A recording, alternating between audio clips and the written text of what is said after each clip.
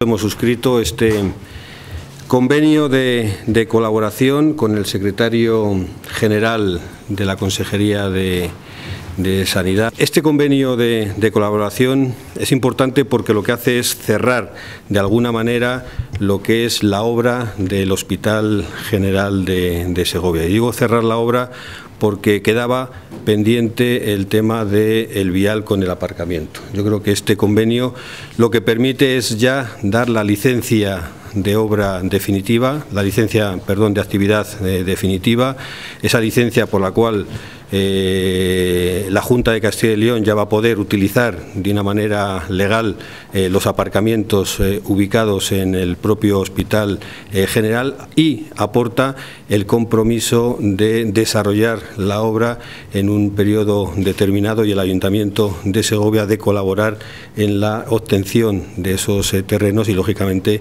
en la, en la, ejecución de la, de la licencia de, actividad. Cuando las administraciones públicas se ponen a trabajar eh, conjuntamente, son capaces de solucionar eh, todos los problemas que, tenemos eh, delante. No se pueden llevarlas a cabo esas obras inmediatamente porque hay que desarrollar una actividad administrativa como es la de adquirir unos terrenos por expropiación o por negociación con, las, con los propietarios. pondrá en funcionamiento la explotación del parking del hospital. Los precios son exactamente los mismos que figuran en la adjudicación del contrato, si bien es cierto que la adjudicación se produjo, creo recordar, en el mes de abril del año 2011, habría que adecuarlos a la modificación de los tipos impositivos del impuesto sobre el valor añadido operada en el año 2012. Estos precios eh, son unos precios eh, de adjudicación muy favorables respecto de los existentes en este momento en otros hospitales del Servicio de Salud de eh, Castilla y León.